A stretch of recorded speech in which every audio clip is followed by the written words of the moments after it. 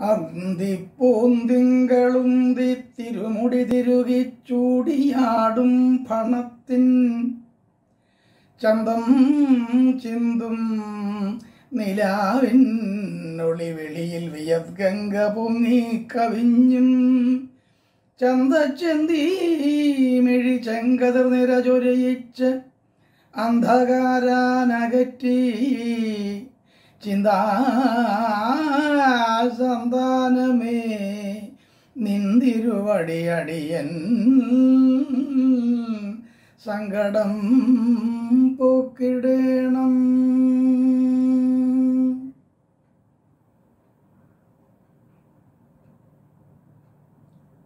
എല്ലാ പ്രേക്ഷകർക്കും നമസ്കാരം. ഇന്ന്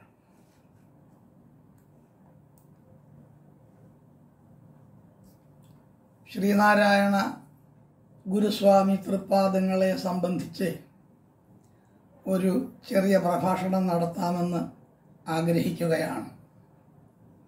ശ്രീനാരായണ ദർശനങ്ങളുടെ കാലിക പ്രസക്തി എന്നാണ് ഇന്ന് പ്രഭാഷണത്തിനായി ഞാൻ സ്വീകരിച്ച ഒരു വിഷയം.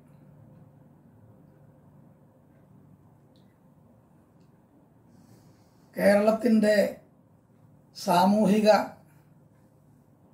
രംഗത്ത് ഇത്ര ശക്തിയുക്തമായ ജീവിതമുദ്ര അടയാളപ്പെടുത്തിയ ദാർശനികനായ ഒരു ഗുരുവര്യൻ. ഇപ്പോഴും പഠിക്കപ്പെടുന്നു എന്നുള്ളത് അത്ര അതിശയോക്തിയുള്ള കാര്യമൊന്നുമല്ല. അത് കാലഘട്ടത്തിന്റെയും സാഹചര്യത്തിന്റെയും ആവശ്യമാണ്. ഋഷിദർശനങ്ങളുടെ വക്താക്കളും പ്രയോക്താക്കളുമാണ് എല്ലാ ഭാരതീയരും. ശാസ്ത്രമോ സാഹിത്യമോ പോലെ ഏതു വൈജ്ഞാനിക മണ്ഡലമായാലും ഭാരത സംസ്കാരം എന്നതിലൂടെ നോക്കിക്കാണാൻ ശ്രമിക്കുന്ന ഒരാൾക്ക് ഋഷിമാരുടെ അന്തർദർശനങ്ങളിലൂടെ ഊറി നിറഞ്ഞ സാംസ്കാരിക പ്രാഭവത്തെ കണ്ണും പൂട്ടി അവഗണിക്കാൻ കഴിയുകയില്ല. കാരണം അവയെല്ലാം കാലദേശാധിവർത്തികളാകുന്നു എന്നതാണ്. അങ്ങു വടക്ക് ഹിമപത് ശൈല ശൃംഗങ്ങൾ മുതൽ ഇങ്ങ് തെക്ക് സേതുപര്യന്തം വരെ സമുദ്രം വരെ സേതുപര്യന്തം വരെയുള്ള ജീവിതാവസ്ഥകളിലെല്ലാം ആർഷ ബൗദ്ധികതയുടെ സൂര്യവെളിച്ചം പടർന്നു കാണുന്നുണ്ട്. മലകളും അലകളും അതിരിട്ട മലയാളത്തിലും പണ്ടേക്കു പണ്ടേ ദാർശനികതയുടെ ഒരു തേജോ ലോകം വര ഒരു വരപ്രസാദം പോലെ ഉണ്ടായിട്ടുണ്ട്. ദാർശനികൻ എന്ന നിലയിൽ ആദിശങ്കരനെയാണ് നാം സാധാരണ പരിഗണിക്കാറുള്ളത്. ശങ്കരനിൽ നിന്നും പ്രസരിച്ച ദാർശനിക പ്രകാശം മലയാളത്തിന് പ്രൗഢമായ ഒരു വ്യക്തിത്വം നൽകിയിട്ടുണ്ടെന്നുള്ളത് സത്യമാണല്ലോ. ശങ്കരന് ശേഷം ആര് കേരളത്തിൽ രാമചരിതകാരനോ അതോ കണ്ണശനോ എഴുത്തച്ഛനോ അങ്ങനെയൊക്കെ പല വ്യക്തിബിംബങ്ങളെയും നമുക്ക് ചൂണ്ടിക്കാണിക്കാൻ കഴിയും. ഭക്തിയിലൂടെ അഖണ്ഡമായ പരമ്പൊരുളിനെ അറിയാനും അതിനെ പ്രാപിക്കാനും അഖിലവും ഏകമായ സത്തയാണെന്ന് തിരിച്ചറിയാനും ശാശ്വതങ്ങളായ സനാതന ജീവിത മൂല്യങ്ങൾ സമൂഹത്തിൽ ഉറപ്പിച്ചു നിർത്താനും ഋഷിയായ തുഞ്ചത്തായ ആചാര്യന് തുഞ്ചത്ത തുഞ്ചത്ത് ഗുരുപാദർക്ക് കഴിഞ്ഞു എന്ന് നമുക്കറിയാം. ധാരാളം അനുഭവങ്ങൾ അനുഭവ സാക്ഷ്യങ്ങളുണ്ട് നമ്മുടെ മുമ്പിൽ. പക്ഷേ എഴുത്തച്ഛന് ശേഷം ശ്രീനാരായണ ഗുരുവിനോളം ഇത്തരം പ്രതിഭാവിശേഷം പ്രകടിപ്പിച്ച ആരെങ്കിലും ഉണ്ടായോ എന്ന സംശയമാണ്. മുനിമടങ്ങാത്ത നിശിതമായ യുക്തിബോധം. ദാർശനിക ഗൗരവമുള്ള ചിന്ത. ചിരന്തനമായ തപസിദ്ധി അനനുകരണീയമായ കവിത്വബോധം. പിന്നെ നാം കാണുന്നത് തീർച്ചയായും ശ്രീനാരായണനിലാണ്. യുഗപ്രഭാവനായ ഗുരുദേവന്റെ ഉപദേശങ്ങളും ദർശനങ്ങളും പരിവർത്തനോന്മുഖമായ സാമൂഹിക പ്രവർത്തനങ്ങളും നിരവധി പണ്ഡിതന്മാരും അന്വേഷണ കുതുകികളായ എഴുത്തുകാരും എത്രയോ മുമ്പ് തന്നെ പഠിച്ചിട്ടുണ്ട്. അവ പ്രചരിപ്പിക്കാൻ ശ്രമിച്ചിട്ടുണ്ട്. അത് വിജയം കണ്ടിട്ടുമുണ്ട്. അങ്ങനെ അവയ്ക്ക് പ്രചാരം കൊടുക്കാൻ നാനാതുറകളിലുള്ള യത്നം നടന്നിട്ടുമുണ്ട്. ഗുരുദർശനങ്ങളെ താമ്പാങ്ങളുടെ കാഴ്ചപ്പാടിൽ ഇന്നും എത്രയോ അധികം പേർ പഠിക്കുകയും അവതരിപ്പിക്കുകയും ചെയ്തു പോരുന്നു. ഓർമ്മ വച്ച നാൾ മുതൽ ചുറ്റിലും കേട്ടുകൊണ്ടേയിരുന്നവയാണ് ഗുരുവിന്റെ കവിതകളും സന്ദേശങ്ങളും മറ്റും. തെല്ലു മുതിർന്നപ്പോൾ അവ പലതും ഹൃദിസ്ഥമാവുകയും പിന്നെയും ഏറെ കഴിഞ്ഞ് അവയുടെ പൊരുളുകൾ തേടി വിചാരപ്പെടുകയും ചെയ്യുമ്പോൾ അതിനും എത്രയോ അപ്പുറത്താണ് ആ ദർശനങ്ങൾ എന്ന് ഉള്ളിലിരുന്ന് ആരോ നിരന്തരം മന്ത്രിക്കുന്നത് പോലെ ആരോ ഓർമ്മപ്പെടുത്തുന്നത് പോലെ തോന്നാറുണ്ട്. ഇന്നും ആ വരവാണിയുടെ ചൈതന്യവത്തായ അകമ്പൊരുളുകൾ എവിടെയാണെന്ന് തേടിക്കൊണ്ടിരിക്കുകയാണ്. ആ ലോകഗുരുവിന്റെ ഓരോ വാക്കുകളിലൂടെയും വരികളിലൂടെയും ചിന്തകളിലൂടെയും എന്റെ ചിന്ത നിരങ്ങി നീങ്ങുമ്പോൾ അത്ഭുതവും ആദരവും ഭക്തിയും കൊണ്ട് ഒരേ സമയം മനസ്സും ശിരസ്സും കുനിഞ്ഞു പോകുന്നു. എന്താണ് ഈ ശ്രീനാരായണ ദർശനം? ദർശനം ദീർഘദർശിതയാണ്. സമൂഹത്തിന്റെ വർത്തമാനകാലത്തിൽ നിന്ന് ഭാവി കാലത്തേക്കുള്ള സങ്കല്പത്തെ പിൽക്കാലത്ത് യാഥാർത്ഥ്യവൽക്കരിച്ചു എന്ന് ഓരോരുവനും അനുഭവിക്കുകയാണ്. അങ്ങനെ അനുഭവപ്പെടുത്തുന്ന കാഴ്ചപ്പാടിനെയാണ് ദർശനമെന്ന് വിളിക്കുക. ഇന്നലെ ഇരുന്നു കൊണ്ട് ഇന്നും നാളെയുമുള്ള കാര്യങ്ങളെക്കുറിച്ച് പറഞ്ഞു വയ്ക്കുക ഇന്നും നാളെയും ആകുമ്പോൾ അത് യാഥാർത്ഥ്യമാണെന്ന് ബോധ്യപ്പെടുക. അങ്ങനെ അകന്നുപോയ ഇന്നലകൾക്കുള്ളിൽ എവിടെയോ ഇരുന്നു കൊണ്ട് അരുളി ചെയ്ത കാര്യങ്ങൾ ഇന്ന് സത്യമായി ബോധമായി യാഥാർത്ഥ്യമായി അനുഭവപ്പെടുത്തുന്നു ഏർപ്പെടുത്തുമെങ്കിൽ അത്തരം ജീവിതത്തിന്റെ കാഴ്ചപ്പാടാണ് ദർശനം. എന്താണ് ശ്രീനാരായണ ദർശനം എന്ന് പൊതുവിൽ എല്ലാവരും പറയുന്നത്? തന്റെ ചുറ്റിലുമുള്ള സമൂഹത്തിൽ അദ്ദേഹം കണ്ട മൂല്യച്യുതികളുടെ പുഴുക്കുത്ത് പുഴുക്കുത്തുകൾ ചികിത്സിച്ചു മാറ്റുന്നത് എങ്ങനെ എന്ന അന്വേഷണത്തിൽ നിന്നാണ്. ഗുരുസ്വാമി തൃപാദങ്ങളുടെ മഹനീയമായ ഒരു ദർശനം രൂപപ്പെട്ട് കിട്ടിയത്. അത് തന്റെ ജന്മനിയോഗമാണ് ഈ മൂല്യച്യുതിയിൽ നിന്ന് സംരക്ഷിക്കുക എന്നുള്ളത്. തന്റെ ജന്മനിയോഗമാണ് എന്ന് ഗുരു തിരിച്ചറിഞ്ഞു.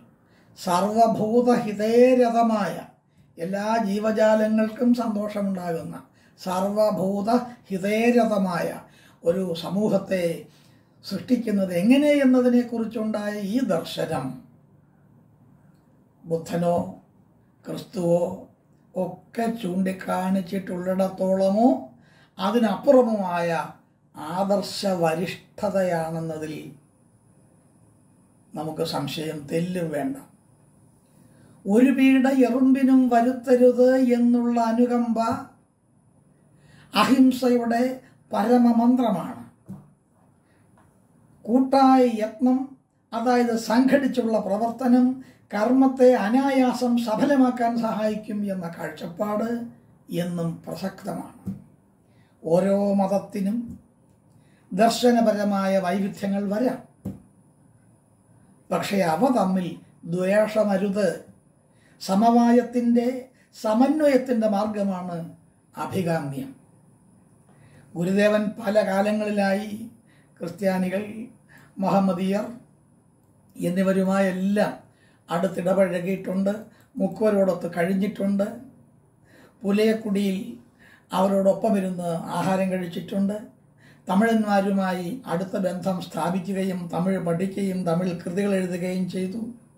ഈ ഏകോദര സോദരത്വ ഭാവന ഗുരുദർശനങ്ങളിൽ പ്രധാനമായ ഒരു വശമാണ്. ആ ദർശനങ്ങളുടെ പ്രചാരത്തിലും പ്രാധാന്യത്തിലും മഹനീയമായ ഒരു വശമാണ് ഈ സമവായ ബോധം.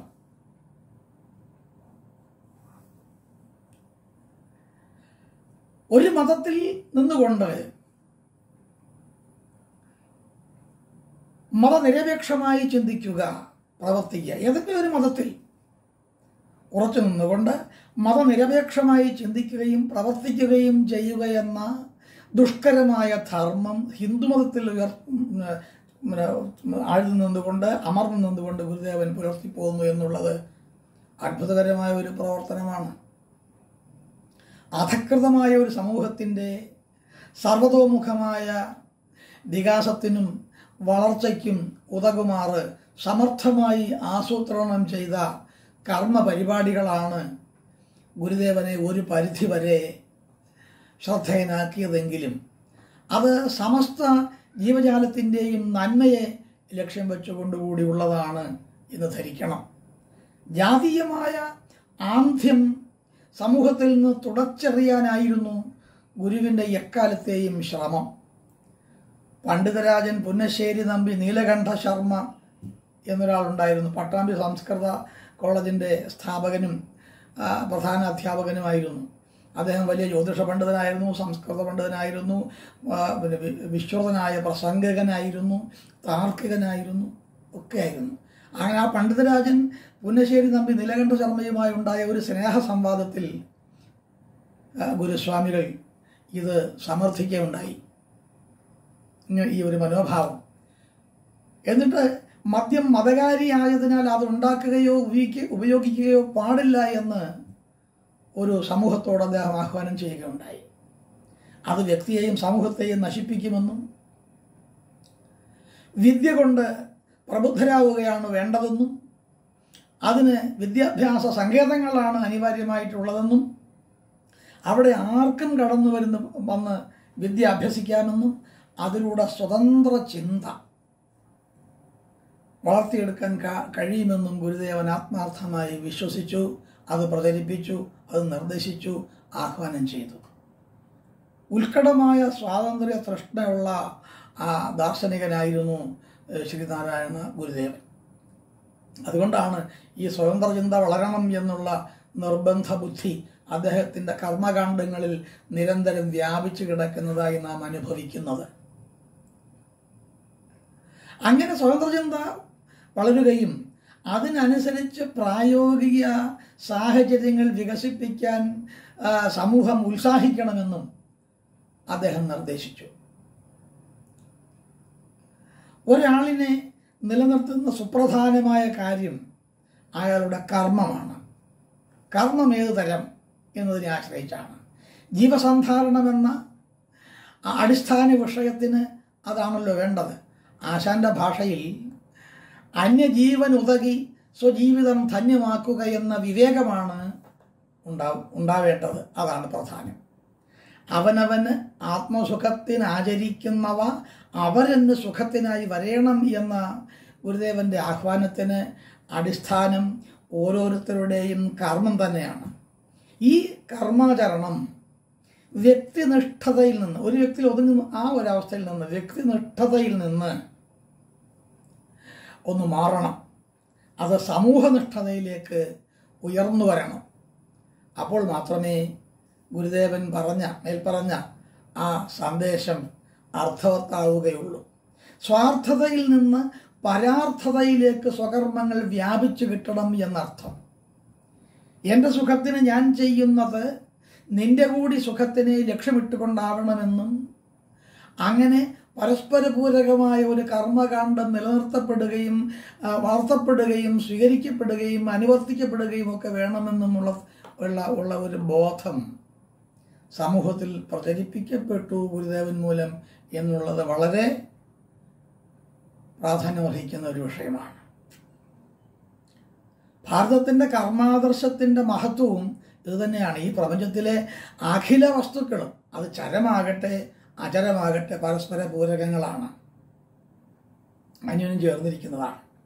ഈ ബോധം ജനിക്കാനാണ് അഥവാ ജനിപ്പിക്കാനാണ് ഗുരുദേവൻ ആധ്യാത്മിക ശാസ്ത്രങ്ങളെ സമർത്ഥമായി വ്യാഖ്യാനിച്ചത് സ്വന്തം കൃതികളിൽ ആ കൃതികൾ ഓരോന്നും. അതൊരു അറുപത്തി മൂന്ന് മൂന്ന് മൂന്നിലധികം കൃതികളുണ്ട്. ഗുരുദേവന്റെ കൃതികളായിട്ട് അറുപത്തി മൂന്ന് പ്രധാനമായിട്ടും അറുപത്തി മൂന്നെണ്ണം ചൂണ്ടിക്കാണിക്കപ്പെട്ടിട്ടുണ്ട്. പിന്നെയും അപ്രകാശിതങ്ങളായ ഏതാനും കൃതികൾ കൂടി ഉണ്ട് എന്ന് പല ആളുകളും കണ്ടെത്തിയിട്ടുണ്ട് അഭിപ്രായപ്പെട്ടിട്ടുണ്ട്. എങ്കിലും അറുപത്തി മൂന്ന് നമുക്ക് ഉറപ്പിക്കാം. ഈ അറുപത്തി മൂന്ന് കൃതികൾ അത് അജരമാണ് അമരമാണ് ആ കൃതികൾ. അവയോരോന്നും കാല അതിവർത്തികളാണ് കാലത്തെ അതിജീവിച്ചു നിൽക്കുന്നത് അവയാണത്. ഏത് കാലത്തും അവ പ്രസക്തങ്ങളാണ് എന്നർത്ഥം. ഏ ജാതി മതവർഗ സമൂഹത്തിന് അതേത് തരമായിക്കോട്ടെ? ഏത് ജാതിക്കും ഏത് വർഗത്തിനും ഏത് സമൂഹത്തിനും ആയാലും ഈ വസ്തുത അടിസ്ഥാന പ്രമാണങ്ങളായി പ്രവർത്തിക്കുന്നു എന്നുള്ളതാണ് സത്യം. ഈ കർമ്മകാണ്ഡത്തിന്റെ സവിശേഷത. നമ്മുടെ ഭാരതീയത്തിന്റെ കർമ്മശാസ്ത്രം വളരെ പ്രധാനമാണ്. കർമ്മം എല്ലാം ധർമ്മമാകണമെന്നില്ല. എന്നാൽ ധർമ്മമെല്ലാം കർമ്മങ്ങളാണ് എന്നുള്ളത് വളരെ പ്രധാനമാണ്. ഭാരതത്തിന്റെ കർമ്മശാസ്ത്രത്തെക്കുറിച്ച് കുറേ അധികം അത് ധർമ്മശാസ്ത്രവുമായി ബന്ധപ്പെടുത്തി ചിന്തിക്കാനുള്ളതാണ് പഠിക്കാനുള്ളതാണ്. ഗുരുദേവനെ ശരിയായി പഠിക്കുമെങ്കിൽ ഈ കാര്യം ബോധ്യപ്പെടുകയും ചെയ്യും. അപ്പം ഈ- ഒരു രംഗത്താണ് ഈ ഒരു തലത്തിലാണ് ഗുരുദേവന്റെ കാലിക പ്രസക്തി എന്നാണ് ഞാൻ കരുതുന്നത്. മറ്റു കാര്യങ്ങളൊക്കെ അതാത് കാലങ്ങളിൽ പ്രാധാന്യമായി വരുന്നു. അത് സംസ്കൃതമായി വരുന്നു. സംസ്കാരപരമായ വികാസമായി അത് മാറി ജീവിതത്തെ സുഖ സംതൃപ്തമായ നിലയിലേക്ക് കൊണ്ടുപോകാൻ പര്യാപ്തമാകുന്നു. ആ നിലയിൽ അത് നമുക്ക് സ്വീകാര്യമാണ് അനുകരണീയമാണ് ഒക്കെയാണ്. ശരിയാണ്. എങ്കിലും ഈ പറയുന്ന കർമ്മസിദ്ധാന്തത്തിന്റെ ഈ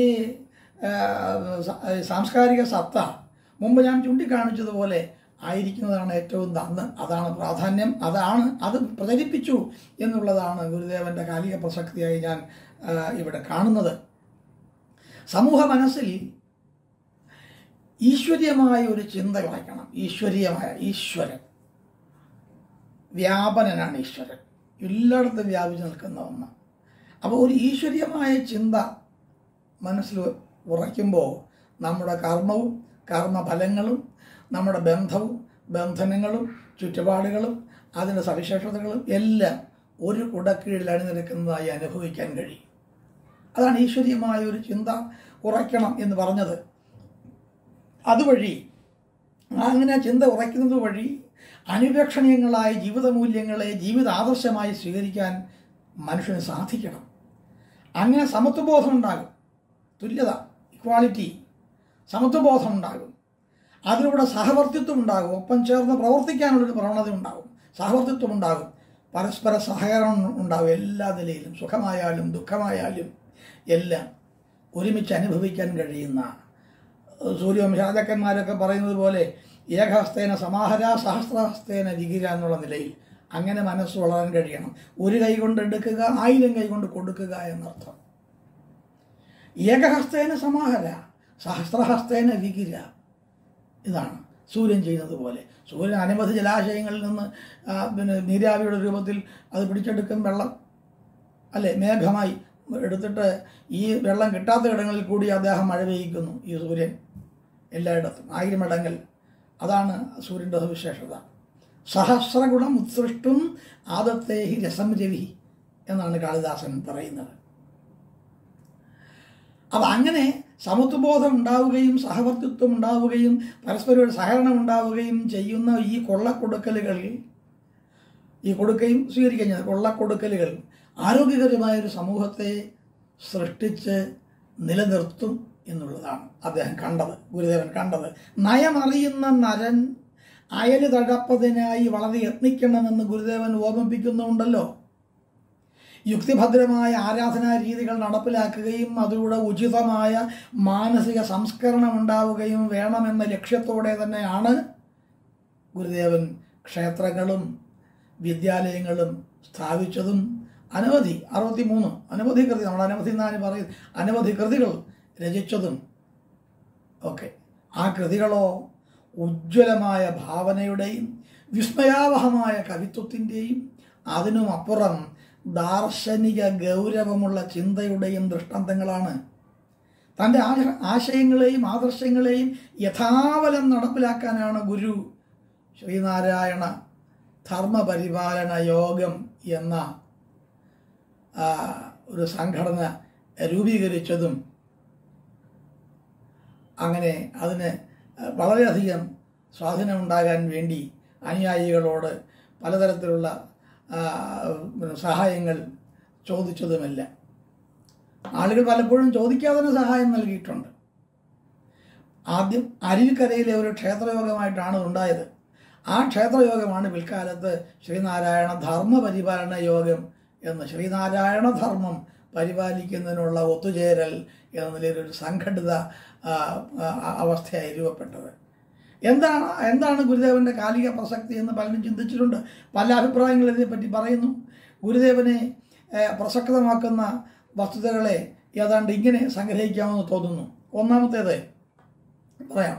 ജാതിഭേദത്തെയും മതദ്വേഷത്തെയും തള്ളിപ്പറഞ്ഞുകൊണ്ട് വസിക്കുന്ന ഒരു സ്ഥാനം മാതൃകാ സ്ഥാനമാണ് താൻ വസിക്കുന്ന സ്ഥാനം. അത് മാതൃകാസ്ഥാനമാണെന്ന് വിളംബരം നടത്തി വലിയ ഒരു സാമൂഹിക വിപ്ലവത്തിന് തുടക്കമിട്ടു.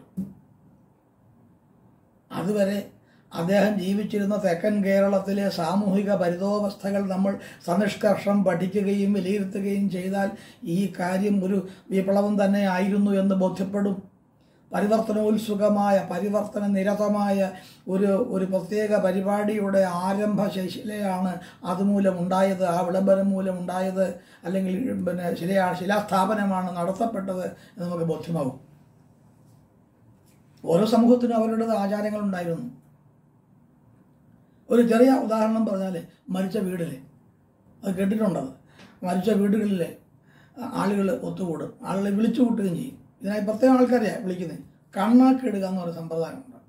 ഈ മരിച്ചുപോയ ആളുകളുടെ എല്ലാ ആളുകളുടെ ഈ ആളിന്റെ എല്ലാ ശ്രേഷ്ഠതകളെയും എടുത്തു പറഞ്ഞ് കുറേ പായാരം പറയുക. കുറേ പറഞ്ഞ് കരയുക. നിലവിളിച്ച്. ഒറിജിനലായിട്ടുള്ള യഥാർത്ഥമായ കരച്ചിലാണ് നമുക്ക് തോന്നിപ്പോകും. ആ നിലയിൽ അങ്ങോട്ട് കരയും. ശവമെടുത്ത് ആളെ സംസ്കരിക്കാൻ വേണ്ടി കൊണ്ടുപോയി കഴിഞ്ഞാൽ ഉടനെ ഇവർ അവിടുന്ന് ഈ ഈ നിലവിളിച്ച ആളുകളൊക്കെ എഴുന്നേറ്റ് വന്ന് മുറുക്കാനും ഒക്കെ കഴിഞ്ഞ് വെടി പറഞ്ഞ് കുറേ തമാശകളൊക്കെ പറഞ്ഞ് ചിരിച്ച് വെടി പറഞ്ഞ് ചിരിച്ച് അങ്ങ് പിരിയും അപ്പം ഇതൊരു ഒരു ആചാരമായിരുന്നു. ഒരു പ്രത്യേക വിഭാഗത്തിലാണ് ഇത് ഉണ്ടായിരുന്നത്. ഓരോ ജാതിക്കാർക്കും പ്രത്യേകം പ്രത്യേകമായ ആചാരങ്ങൾ അനുഷ്ഠാനങ്ങൾ വിശ്വാസങ്ങൾ ഒക്കെ അത് അവരവരുടേതായ നിലയിൽ പുലർന്നു പോന്നിരുന്നു. സവർണരുടെ ആധിപത്യത്തെയും നേതൃത്വത്തെയും ഈ ആവരണ സമൂഹം അംഗീകരിച്ചിരുന്നു എന്നുള്ളതാണ് സത്യം. ഗുരുദേവന്റെ അമ്മാവനായിരുന്ന കൃഷ്ണൻ വൈദ്യർ പോലും വളരെ പണ്ഡിതനും വളരെ വളരെ വിദഗ്ധനായ വൈദ്യനും ഒക്കെ ആയിരുന്നു അദ്ദേഹം. വളരെ പ്രമാണിയും ഒക്കെ ആയിരുന്നു. പക്ഷേ സവർണർ വരുമ്പോൾ അത് അദ്ദേഹവും ഒഴിഞ്ഞു മാറി നടന്നിരുന്നതായിട്ടാണ് ചരിത്രം രേഖപ്പെടുത്തിയിട്ടുള്ളത്. അപ്പം ഇവിടെ ഇദ്ദേഹം ഗുരുദേവൻ വന്നു ചേർന്ന ഈ സ്ഥലത്ത് അദ്ദേഹം പറഞ്ഞു ഇവിടം ജാതിഭേദമോ മതദ്വേഷമോ ഒന്നുമില്ലാത്ത മാതൃകാസ്ഥാനമാണ് എന്ന് പറഞ്ഞു. മാതൃകാ സ്ഥാനമാണ്. ഒരാൾക്ക് മോഡലായിരിക്കുക. അത് വലിയ കാര്യമാണ് ഇപ്പോൾ പുകവലിക്കരുത് എന്ന് ഒരാളോട് പറഞ്ഞാൽ പുക വലിക്കാത്ത ഒരാളാണ് ഇത് ചെയ്യേണ്ടതെന്ന് ഞാൻ വിശ്വ- വിശ്വസിക്കുന്നില്ല. പക്ഷെ പുക വലിച്ച് അതിന്റെ ദോഷം മനസ്സിലാക്കി ഒരാൾക്ക് പറയാം. നീ പുക വലിക്കരുത് എന്ന് പറയാം. ഇതുപോലെ ഗുരുദേവൻ ഇത് അറിഞ്ഞതാണ് അനുഭവിച്ചറിഞ്ഞതാണ്. ഈ ആധമർണ്യം എന്താണ്? ജാതീയമായ തരംതിരിവും അതിന്റെ കുഴപ്പങ്ങളും എന്താണെന്ന് അനുഭവിച്ചറിഞ്ഞ ഒരു വ്യക്തിത്വത്തിൽ നിന്നാണ് ഇത് മാതൃകാസ്ഥാനമായിരിക്കണമെന്നുള്ള ഒരു ഒരു ഒരു ബോധ്യം അദ്ദേഹത്തിന് രൂപപ്പെട്ടു വന്നതെന്നാണ് വിചാ ഞാൻ വിചാരിക്കുന്നത്. അതൊരു വലിയ സാമൂഹിക വിപ്ലവമാണ്. തുടർന്നു അത് തുടർന്നു വരുന്ന കാര്യം പിന്നെ പറയാം. രണ്ടാമത് അത് കാലിക പ്രസക്തമായ കാര്യമായി ഞാൻ കാണുന്നത് മദ്യം ഉണ്ടാക്കരുത് കൊടുക്കരുത് കുടിക്കരുത് നിർദ്ദേശിച്ച് മദ്യമുക്തമായ ഒരു സമൂഹത്തെ സൃഷ്ടിക്കാൻ ആഹ്വാനം ചെയ്തു. അത് വിഷമാണ്. കള്ളു കുടിക്കുന്നതിനെ കള്ളു നാറും. അവനും നാറും എന്റെ കുടുംബം നാറും എന്റെ കുലവും നാറും എന്ന് പറഞ്ഞ ആളാണ് അദ്ദേഹം. ശ്രീനാരായണ ഗുരുസ്വാമി എന്ന് പറഞ്ഞ ജീവചരിത്ര ഗ്രന്ഥത്തിൽ പ്രൊഫസർ എം കെ സാനു ഇക്കാര്യം സൂചിപ്പിക്കുന്നുണ്ട്. ഈ കാര്യം. അപ്പം ഇങ്ങനെ ഒരു ഒരു കാര്യം മദ്യം ഉണ്ടാക്കരുത്. അത് മതിപ്പിക്കുന്നതാണ് മതിപ്പിക്കുന്നതാണ് മദ്യം. അതുകൊണ്ട് അത് ബോധത്തെ നശിപ്പിക്കുകയും വിവേകത്തെ നശിപ്പിക്കുകയും വിവേചനത്തെ നശിപ്പിക്കുകയും കുടുംബബന്ധങ്ങളെ ശിഥിലമാക്കുകയും വ്യക്തിപരമായ സ്വസ്ഥത ഇല്ലാതാക്കുകയും സമൂഹത്തിന് തന്നെ അത് വിഷമയമായി മാറുകയും ചെയ്യുന്ന ഒരു അവസ്ഥയിലേക്ക് ഈ മദ്യാസക്തി ഉണ്ട ഉണ്ടാകുമെന്നുള്ളതും ഒരു സമൂഹം മുഴുവൻ ആ നിലയിൽ നശിപ്പിക്കപ്പെടുകയും ചെയ്യും എന്നുള്ള കാര്യം കൊണ്ടാണ് ഗുരുദേവൻ മദ്യം ഉണ്ടാക്കരുത് കൊടുക്കരുത് കുടിക്കരുത് നിർദ്ദേശിച്ച് മദ്യമുക്തമായ ഒരു സമൂഹം സൃഷ്ടിക്കണമെന്ന് ആഹ്വാനം ചെയ്തത്. വിദ്യ കൊണ്ട് പ്രബുദ്ധമായൊരു സമൂഹമാകണമെന്ന് പ്രബോധിപ്പിക്കുകയായിരുന്നു അദ്ദേഹം പിന്നെ ചെയ്തത്. വിദ്യ വേണം. വിദ്യ ഇല്ലാതെ എങ്ങനെ? വിദ്യയാണ് അറിവിന്റെ ആധാരമാണ് വിദ്യ. അറിവ് എന്നാൽ എന്ത്?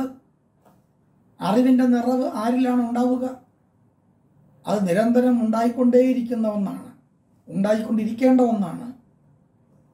അറിവ്. അറിവ് എന്നൊരു കവിത തന്നെ അദ്ദേഹം എഴുതിയിട്ടുണ്ട്. ഒരു ഒരു പദ്യം തന്നെ അദ്ദേഹം എഴുതിയിട്ടുണ്ട്. ആ, ഗുരുദേവൻ എഴുതിയിട്ടുണ്ട്. വളരെ മനോഹരമായ ഒന്ന് അറിവിനെക്കുറിച്ച്. സാധാരണഗതിയിൽ സാധാരണ മലയാളമാണ് എന്നാണ് നമുക്ക് തോന്നുകയെങ്കിലും ആ അതാ അറിവ് എന്ന കവിതയുടെ ഓരോ വരിയുടെയും ഉള്ളറകളിലേക്ക് നമ്മൾ ചുഴിഞ്ഞിറങ്ങിക്കഴിഞ്ഞാൽ ഉജ്ജ്വലമായ വേദാന്ത സാര സംഗ്രഹം അതിൽ ഒതുക്കി അമർത്തി വച്ചിരിക്കുന്നതായി നമുക്ക് അനുഭവിക്കാൻ കഴിയും. നല്ലപോലെ വേദാന്തം പഠിച്ച ഒരാൾക്ക് മാത്രമേ അത് പൂർണമായി ദഹനത്തിന് വിധേയമാകൂ. അല്ലാതെ സാധ്യമല്ല. അവ വിദ്യ കൊണ്ട് പ്രബുദ്ധമായ ഒരു സമൂഹമാകണമെന്ന് പ്രബോധിപ്പിക്കുകയും സംഘടിച്ച് ശക്തരാകണമെന്ന് നിഷ്കർഷിക്കുകയും ചെയ്തു അദ്ദേഹം. പിന്നെയോ ആത്മീയമായ നേർക്കാഴ്ചയിലൂടെ വ്യക്തിശുദ്ധിയും അതുവഴി സമൂഹവിശുദ്ധിയും കൈവരിച്ച് പുതിയ കർമ്മതന്ത്രങ്ങൾ പരിശീലിച്ച് വിജയിക്കുന്ന ഒരു നവസമൂഹമാകണം എന്ന ദർശനം മാനവരാശിക്കു മുമ്പിൽ ഉയർത്തിക്കാട്ടാൻ അദ്ദേഹം ശ്രദ്ധിച്ചു എന്നുള്ളത് ഏത് കാലത്തും പ്രസക്തമായ കാര്യമാണ്. അവ കാലിക പ്രസക്തമായ മറ്റൊരു വിഷയമാണ് അദ്ദേഹം ഇവിടെ നടത്തിയത് എന്നൊന്ന് സംശയം നമുക്ക് പറയാം. ദുർ എന്നിട്ടോ ഇനി ദുർഗ്രഹമായ വേദാന്ത തത്വങ്ങളെ ആർക്കും ലഘുവായി ഗ്രഹിക്കാവുന്ന തരത്തിൽ കുറേയേറെ കൃതികളിലായി അദ്ദേഹം വ്യാഖ്യാനിച്ചു. ദൈവദശകം അതിലൊന്ന് നമുക്ക് പറയാം. പിന്നെ ജനനി നവരത്ന മഞ്ജരി. എത്ര മനോഹരം. ആ ഒൻപത് പദ്യങ്ങളേ ഉള്ളൂ. പക്ഷേ അത് ഉണ്ടാക്കുന്ന വേദാന്തപരമായ ഒരു പ്രശ്നം അനുവാചകനിൽ എങ്ങനെയാണ് വായനക്കാരിൽ എങ്ങനെയാണ് പഠിതാവിൽ എങ്ങനെയാണ് സ്വാധീനം ചെലുത്തുന്നത് എന്ന് നോക്കൂ. ഒന്നായ ഞാനത് ആ ശ്ലോകം ചൊല്ല. മുമ്പ് ഞാൻ ചൊല്ലിയിട്ടുള്ളതാണത് എന്റെ ചില പല എപ്പിസോഡുകളിൽ ഞാൻ ചെയ്തിട്ടുണ്ട്. ആർഷഭാരതി എന്ന പേരിൽ ഞാൻ എന്റെ സ്വന്തമായ ഒരു ചെറിയ യൂട്യൂബ് ചാനലുണ്ട്. അതിനകത്ത് ഞാൻ ദൈവദശകം വ്യാഖ്യാനിക്കുകയും ഇത്തരം കാര്യങ്ങൾ പറയുകയും ചെയ്തിട്ടുണ്ട്. അതിന്റെ ആരംഭ ശ്ലോകമായി ഞാനത് ഉദ്ധരിക്കുകയും ചെയ്തിട്ടുണ്ട്. എന്നാൽ അതൊരു പ്രാവശ്യം കൂടി പറയാം. ഒന്നായ മാമതിയിൽ നിന്നായിരം ത്രിപുടി വന്ന് ആശുതൻ മതി മറന്ന് അന്നാദിയിൽ പ്രിയമുയർന്ന് ആടലാം കടലിൽ ഒന്നായി വീണു വലയും എന്നാശയം ഗതി വെറും നാദഭൂമിയിൽ അമർന്ന് ആവിരാഭ പടരും ചിന്നാവിയിൽ ത്രിപുടി കലർന്ന് ആറിടുന്നു ജനനീ. ഇവിടെ ജനനി എന്ന് പറയുമ്പോൾ അത് എവിടെയാണ് ചെന്ന് കൊള്ളുന്നത്? ഈ ജഗദമ്പയെ സംബന്ധിക്കുന്ന ഈ സ്വരൂപ സത്ത വ്യാഖ്യാനിക്കപ്പെടുമ്പോഴാണ് ആ വേദാന്ത സാരത്തിന്റെ രുചിരത എന്താണെന്ന് നമുക്ക് ബോധ്യമാവുകയുള്ളൂ. അപ്പോൾ സമൂഹ മനസ്സിൽ ഈശ്വരീയമായ ചിന്തയുറച്ച് അനുവേക്ഷണീയങ്ങളായ ജീവിതമൂല്യങ്ങളെ ജീവിതാദർശമായി സ്വീകരിക്കാൻ നാടെങ്ങും ക്ഷേത്ര പ്രതിഷ്ഠകൾ നടത്തി. ക്ഷേത്രം ക്ഷയാത് ത്രായതീത് ക്ഷേത്ര. ക്ഷയോന്മുഖമാകാതെ സമൂഹത്തെ സംരക്ഷിക്കാൻ കഴിയുന്ന എന്തോ അതാണ് ക്ഷേത്രം. നമ്മുടെ ശരീരത്തിന്റെ പ്രതിബിംബിത ഭാവമാണ് ഈ ക്ഷേത്രം എന്ന് പറയുന്നത്. ഇതം ശരീരം കൗന്ദയ ക്ഷേത്രമിത്യഭിധീയത്തെ എന്ന ഭഗവത്ഗീത. അപക്ഷേത്രത്തെ ഭൂമി എന്നർത്ഥമുണ്ട് ക്ഷേത്രത്തിന്. അൻപുന്ന തലം കുടികൊള്ളുന്ന സ്ഥലം എന്നർത്ഥത്തിൽ അമ്പലം. കുടികൊള്ളുകയാണ്. ദേവൻ അവിടെ കുടികൊള്ളുകയാണ്. അമ്പലം അതാണ്. അൻപുന്ന തലമാണ് അമ്പലം. അപ്പം അങ്ങനെ ആ ക്ഷേത്രങ്ങൾ നാടങ്ങൾ സ്ഥാപിച്ചു. എന്നിട്ട് അവിടെ കീർത്തനം ചെയ്യാൻ അദ്ദേഹം നാളെ കൃതികൾ ഒരുപാട് സ്തവങ്ങൾ അദ്ദേഹം എഴുതി. ഗുഹാഷ്ടകം ഷൺഭോഷ അതിങ്ങനെ പറഞ്ഞ ഒരുപാട് ഒരുപാട് കൃതികൾ അദ്ദേഹം എഴുതി. വിനായകാഷ്ടകം ഇതൊക്കെ അദ്ദേഹത്തിന്റെ വകയാണ്. ഇതിലൂടെ എല്ലാം ഉരുത്തിരിയുന്ന വിഷയങ്ങൾ നമ്മൾ പരിശോധിച്ചാൽ അനന്യമായ ഒരു പ്രതിഭയുടെ അപൂർവതയുണ്ട് ശ്രീനാരായണന്റെ ജന്മത്തിൽ എന്ന് നമുക്ക് ബോധ്യമാവും. വെറുമൊരു മനുഷ്യനായി അവതരിച്ചുവെങ്കിലും അവതരിക്കുക എന്ന് താഴേക്ക് ഇറങ്ങി വരിക എന്നാണ്. അവതാരം എന്നാണ്. ഏറ്റവും അതിഥ്യകാ ഇരിക്കുകയും ഉപരിസ്ഥാ അതിഥ്യക ഉയർന്ന സ്ഥലം അതിഥ്യകാ സ്ഥാനത്ത് ഉയർന്ന സ്ഥാനത്ത് ഇരിക്കുകയും ആ ഇരിക്കുന്നയാൾ താഴേക്ക് ഇറങ്ങി വരികയും ആ ഇറങ്ങി വരൽ മുകളിൽ ഇരുന്നു കൊണ്ട് താഴേക്കുള്ളത് മുഴുവൻ താഴെയുള്ളത് മുഴുവൻ കാണുകയും ചെയ്യുക. അത് ഗരുഡിന് മാത്രമേ ഉള്ളൂ. ഗ്രധ്ര നേത്രം എന്ന് പറയും. ഗ്രധ്രൻ കഴുകൻ പരുന്ത്. വ- ഉയരത്തിൽ പറന്നുകൊണ്ട് താഴേക്ക് നോക്കുകയാണ്. മുകളിൽ താഴേക്ക് നോക്കുമ്പോൾ സൂക്ഷ്മമായി കാണാൻ കഴിയും. നമ്മൾ ചുറ്റുപാടിരുന്ന് നോക്കിയാൽ ആലോകനം മാത്രമേ വെക്കൂ കാ ചുറ്റിലും കാണാം. എല്ലാം കാണുകയല്ല? ചുറ്റും ഇങ്ങനെ കാണുന്നേ ഉള്ളൂ. ഇത് അത് ആലോകനമാണ്. മറ്റേത് അവലോകനമാണ്. മുകളിൽ താഴേക്ക് നോക്കുമ്പോൾ അവലോകനം. ആ അവലോകനം ചെയ്യാനുള്ള കരുത്തോടെ അതായത് താഴെയുള്ളതിനെ സംസ്കരിക്കാൻ കഴിയുന്ന ഒരു കരുത്തോടെ വരുന്ന ഒരു ഒന്നാണ് ഈ അവതാരം എന്ന് പറയും നമ്മൾ വിഷ്ണുവിന്റെ അവതാരം മത്സ്യപൂർവം വരാഹഞ്ച നരസിംഹഞ്ച വാമന എന്നൊക്കെ പറയാറില്ലേ? അതാണ്. അങ്ങനെ ഒരു കാര്യം ഒരു അവതാര സ്വരൂപം തന്നെ ശ്രീനാരായണ വിഗ്രഹത്തിന് കൊടുക്കാൻ അമാന്തിക്കേണ്ട കാര്യമൊന്നുമില്ല സംശയിക്കേണ്ട കാര്യമൊന്നുമില്ല മടി വിചാരിക്കേണ്ട കാര്യമൊന്നുമില്ല. അത് ദിവ്യജന്മം തന്നെയാണ് ഗുരുദേവന്റേത് എന്ന് ഉറപ്പിച്ച് പറയാം. പിന്നെ അത് വിവാഹ സമ്പ്രദായം പരിഷ്കരിച്ചു എന്നുള്ളത് കൂടി അദ്ദേഹത്തിന്റെ കാലിക പ്രസക്തമായ പ്രവർത്തന മണ്ഡലത്തെ സാധൂകരിക്കാൻ വേണ്ടി നമുക്ക് എടുത്തു കാണിക്കാവുന്ന ഒരു കാര്യമാണ്. ഇവയിൽ ഏതെല്ലാമാണ് ഗുരുദേവന്റെ ആ, കാലിക പ്രസക്തി നിലനിർത്തുന്ന ഘടകമായി വിലയിരുത്താവുന്നതെന്ന് നമുക്ക് അന്വേഷിക്കേണ്ട കാര്യമില്ല. ഇതെല്ലാം ചേർന്ന വ്യക്തിത്വ വിശേഷമായിരുന്നു സ്വാമി തൃപ്പാദങ്ങൾ നമുക്കിന്ന് പറയാൻ പറ്റും. ഒരാളിനെ നിലനിർത്തുന്ന സുപ്രധാനമായ കാര്യം അയാളുടെ കർമ്മമാണെന്ന് ഞാൻ നേരത്തെ പറഞ്ഞല്ലോ. ഏത് കർമ്മത്തിനും ഒരു ലക്ഷ്യമുണ്ട്? ആ ചിലപ്പോൾ തിരിച്ചറിഞ്ഞു എന്ന് വരാം തിരിച്ചറിഞ്ഞില്ലെന്ന് വരാം. ഏത് ജന്മത്തിനും ഒരു ദൗത്യമുണ്ട്. ആ ദൗത്യമാണ് ശ്രീനാരായണനും ഉണ്ടായിരുന്നത്. മൂല്യ നിരാശം വന്നുപോയ മൂല്യനാശം വന്നുപോയ മൂല്യത്തെ നിരസിച്ച് കളഞ്ഞ ഒരു സമൂഹത്തെ സമുദ്ധരിക്കുക എന്നതായിരുന്നു ഗുരുദേവന്റെ ജന്മദൗത്യത്തിൽ ഏറ്റവും പ്രധാനമായുള്ളത്. ഭാരതത്തിന്റെ ആധ്യാത്മിക തത്വശാസ്ത്രത്തിന് സാത്മീകരണത്തിന്റെ അതുല്യമായ ഒരു ശക്തിയുണ്ട്. വസുധൈവ കുടുംബകം എന്നാണ് അതിന്റെ മുദ്രാവാക്യം. ആർഷ സംസ്കൃതിയുടെ മുദ്രാവാക്യം. വസുധൈവ കുടുംബകം ഈ വസുധ മുഴുവൻ ഈ ഭൂമി മുഴുവൻ എന്റെ തറവാടാണ് എന്ന് പറയുക എല്ലാത്തിലും ഒന്നിനെ കാണുക ഒന്നിൽ തന്നെ എല്ലാത്തിനെയും കാണുക. ഈ അഖണ്ഡമായ നിത്യചൈതന്യം എല്ലാത്തിലും നിറഞ്ഞിരിക്കുന്നു. ആ ചൈതന്യത്തിന്റെ അംശമാണ് എല്ലാം എന്ന് വിചാരിക്കുക. അതിലും ഇതിലും. അത് ഇതിലുണ്ട് ഇത് അതിലുണ്ട്. അതാണ് അതാ തത്വമസി എന്ന് പറയുന്നത്. ഇത് തന്നെയാണ് പിന്നെ ഏകം സദ്വിപ്രാവ്യഹുധാവദന്തി എന്ന് പറയുന്നത്. അനന്യമായ സാഹോദര്യത്തിന്റെ ശക്തി പ്രഭ- പ്രഭാവം അല്ലെങ്കിൽ ശക്തി പ്രവാഹം അത്യന്ത ബലിഷ്ഠമായ ഒരു സമൂഹത്തെ സൃഷ്ടിക്കാൻ പോകുന്ന കെൽപ്പുള്ളതാണെന്ന് ഗുരുദേവൻ നന്നേ ചെറുപ്പത്തിൽ തന്നെ കണ്ടറിഞ്ഞിട്ടാണ് തന്റെ പ്രവർത്തന മണ്ഡലം ഇങ്ങനെയായിരിക്കണം എന്ന് തീരുമാനിച്ചത്. അതിന് തെളിവുകളാണ് അദ്ദേഹത്തിന്റെ കൃതികൾ. അവയിലൂടെ അദ്ദേഹം കൃപാപുരസരം ചൊരിഞ്ഞ ദർശന സഞ്ചയം അജരമാണ് അമരമാണ്. അവ കാലത്തെ അതിജീവിച്ചുകൊണ്ട് ആചന്ദ്രതാരം ധ്രുവദീപ്തി ചൊരിയുക തന്നെ ചെയ്യും എന്നത് എന്നതിൽ ഒരു സംശയവും വേണ്ട. സർവകാല പ്രസക്തമായ ശ്രീനാരായണ ദർശനങ്ങൾ വരും തലമുറയുടെ വഴികാട്ടികളാകണം.